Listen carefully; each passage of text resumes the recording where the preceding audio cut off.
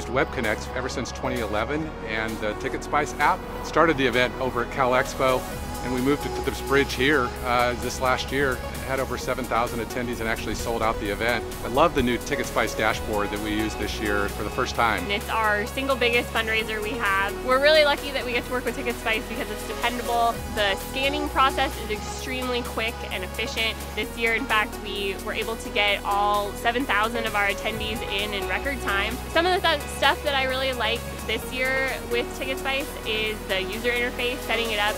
Uh, it's, it's so much more of a what you see is what you get system. So we were able to pick the background that matched our theme as well as um, you know add images if we needed and it was a super simple quick process people were able to purchase their tickets in probably like 20 seconds it's been really nice to work with a system that is dependable and uh, has really contributed to our success I was able to go into the dashboard and see the ticket sales minute by minute, second by second. As we approached our sellout, uh, we could make decisions based on the results of the ticket sales right there in front of us.